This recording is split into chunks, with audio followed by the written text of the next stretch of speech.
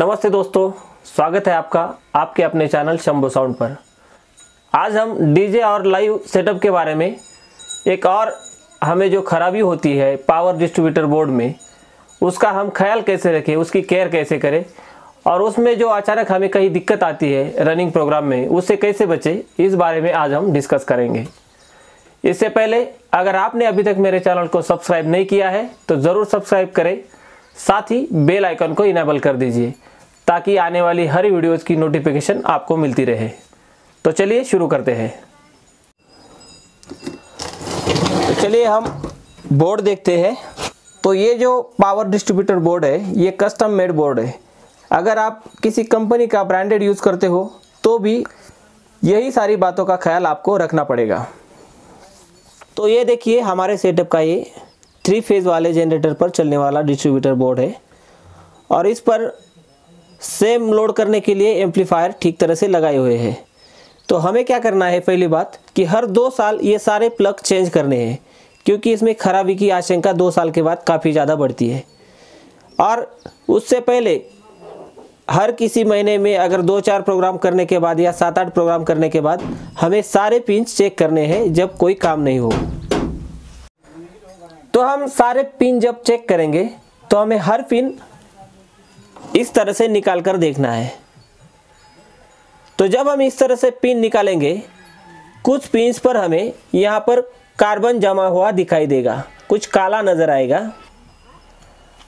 तो हमें मार्केट से दस रुपये में ऐसा पेपर मिल जाता है। पॉलिश पेपर मांगना है आपको किसी भी हार्डवेयर की दुकान पर। और इस दस रुपये के पेपर से आप पूरे आपके डिस्ट्रीब्यूटर बोर्ड की केयर कर सकते हो। तो आपको करना क्या है? सारे प्लग निकाल लेने हैं। उनमें से कुछ प्लग्स पर यहाँ पर कार्बन जमा हुआ दिखाई देता है।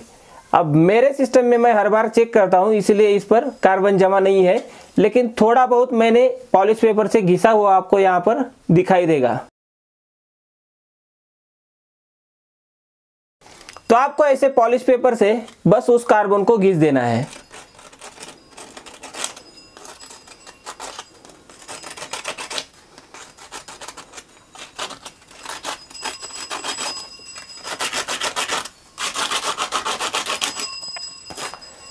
सारी साइड कार्बन से क्लीन करने के बाद आप उसे दोबारा अपने जगह पर लगा दीजिए। और इस तरह से आप जनरली पाँच ऑर्डर के बाद, हर पाँच काम करने के बाद, पाँच ऑर्डर अपनी सेटअप की करने के बाद ये बार बार कीजिए, ताकि किसी रनिंग प्रोग्राम में आपको कोई दिक्कत ना हो। जैसे कि बहुत बार हो जाता है कि चालू प्रोग्राम में किसी एम्पलीफायर का करंट गायब हो जाता है, या फिर एम्पलीफायर के आवाज़ में दिक्कत आना शुरू हो जाती है। वो होता है पावर फ्लक्चुएशन की वजह से। और किसी सेपरेट एक एम्पलीफायर को हो रहा है मतलब उसके पावर प्लग में प्रॉब्लम आ गई है। तो इससे बचने के लिए सिस्टम का नाम खराब होने से बचने के लिए हमें ज़रूर करना चाहिए और आप इसका सही इस्तेमाल अपने सेटअप के लिए करें। तो दोस्तों, यही सब था आज के वीडियो में। तो ये वीडियो आपको कैसा लगा, ये मुझे ज़रूर कमेंट सेक्शन में बताइए। साथ ही वीडियो को लाइक और शेयर ज़रूर कीजिए। चैनल को सब्सक्राइब कीजिए। मिलते हैं अगले वीडियो में।